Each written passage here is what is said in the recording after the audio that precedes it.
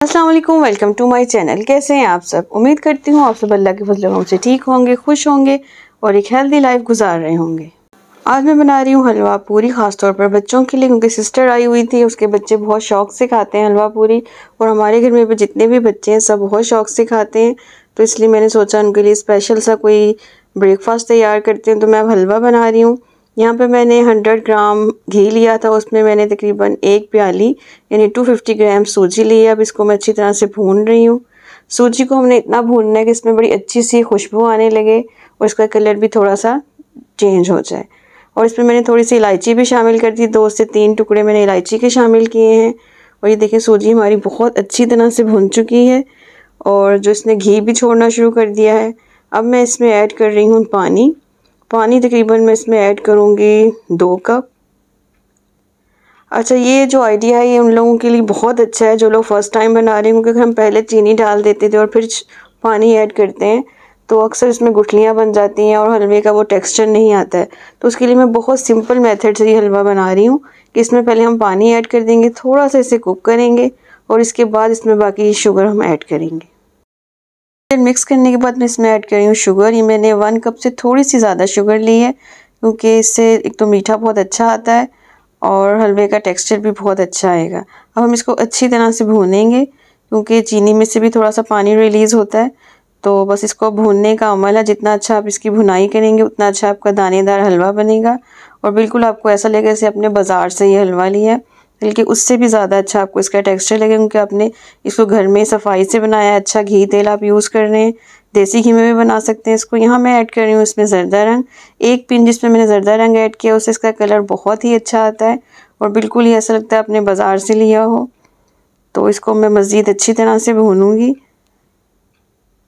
जितना अच्छी इसकी भुनाई होगी, उतना ही अच्छा आपका हलवा तैयार होगा। और हलवा और पूरी की फुल रेसिपी मेरे चैनल पर मौजूद है। आप चाहें तो कंप्लीट रेसिपी देख सकते हैं। यहाँ मैं आपको बस थोड़ा थोड़ा सा बता रही हूँ कि इस तरह से मैंने बनाया था। बस अब मैं इसकी अच्छी तरह से भुनाई करूँगी। जब तक सारा जो घी हमने डाला है वो किनारों से निकलना ना शुरू हो जाए और जो इसका घी थोड़ा सा ऊपर ना आ जाए तो मैं इसको अच्छी तरह भूनती रहूँगी। जी, इसके बाद मैं इसमें ऐड करूँगी रेजन्स यानी किशमिश। आपको पसंद है तो डालें। अगर आपको नहीं अच्छी लगती तो आप नहीं डालें। और इसके बाद मज़ीद मैं इसको थोड़ा सा भूनूँगी क्योंकि इसको अपने थोड़ा सा और इसको टेक्सचर को थोड़ा थिक करना है। अभी ये लिक्विड ही है और अभी इसका घी भी इसने नहीं छोड़ा है। तो इसको मैं मज़ीद भूनूँगी।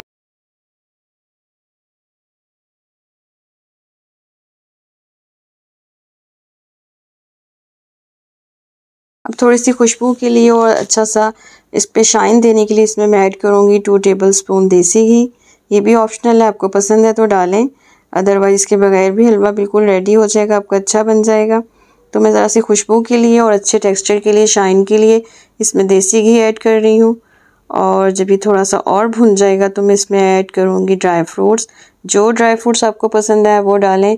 मैंने इसमें बादाम, पिस्ते और थोड़ा सा नारियल ऐड किया था। बस जी, आपका हलवा बिल्कुल रेडी है।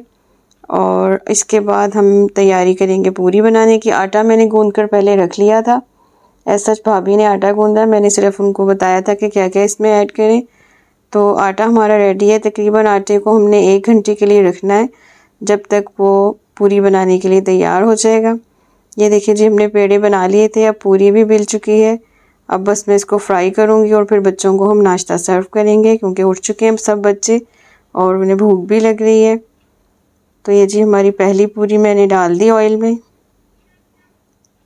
और ये देखिए जी कितनी अच्छी ये फूल रही है और बहुत ही अच्छी और सॉफ्ट पूरियाँ बनी थी ये। और सबको बहुत ही पसंद आई। बिल्कुल भी हैवी नहीं लग रही थी। और जो इसकी फुल रेसिपी वो तो आपको चैनल पर देखनी पड़ेगी। उसका लिंक मैं डिस्क्रिप्शन बॉक्स में दे दूँगी आप लोगों को।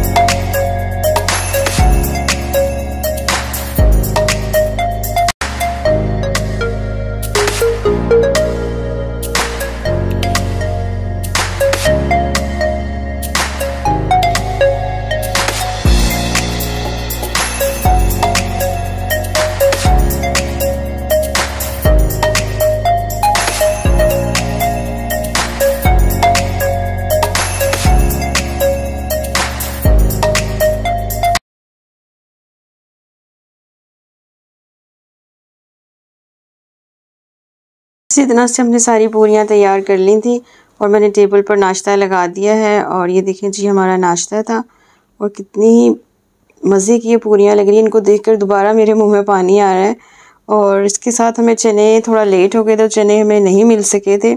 इसलिए घर में जो वेजिटेबल्स बनी थी मिक्स वेजिटेबल उसी के साथ हमने इनको खाया था। बच्चे तो मोस्टली हलवा और पूरी ही खाते हैं, सालन वगैरह कुछ नहीं साथ खाते हैं। लेकिन बड़ों को होता है कि चने वगैरह होने चाहिए या कोई और चीज़ होती। तो ये जी बच्चे हमारे बिल्कुल इंतज़ार कर रहे थे नाश्ते के लिए। ये जी हमारे घर का सबसे छोटा और क्यूट बंदा, जिसको हलवा पूरी बहुत ही पसंद है। माशाल्लाह, इसने बहुत शौक से नाश्ता किया था। और जी नाश्ता हो और चाय ना हो, ऐसे तो हो ही नहीं सकता। तो हमारी चाय भी आ गई थी और हमने मज़े से ये नाश्ता किया था। और सबने नाश्ते को बहुत इंजॉय किया। और ये जनाब, कुछ काम हो रहा है और ये क्या हो रहा है, ये मैं आपको अभी नहीं बताऊँगी। आप लोगों के लिए सरप्राइज़ है। ये कुछ तैयारी हो रही है, कुछ बनने की। और ये क्या बनेगा, ये आप गैस कर सकते हैं। कमेंट बॉक्स में मुझे बता सकते हैं। और जब ये कंप्लीट हो जाएगा सारा काम तो इन मैं आपको दिखाऊँगी कि क्या तैयार हुआ है बनकर। और तब तक के लिए आपके लिए एक सरप्राइज़ है। और जो भी बन रहा है बहुत ज़बरदस्त एक चीज़ तैयार हो रही है। ये है जनाब साउंड बार या आप इसे वूफर्स कह सकते हैं साउंड सिस्टम कह सकते हैं। तो भाई अभी ये लेकर आए थे और इसकी अनबॉक्सिंग कर रहे थे तो मैंने आप लोगों के लिए वीडियो बना ली।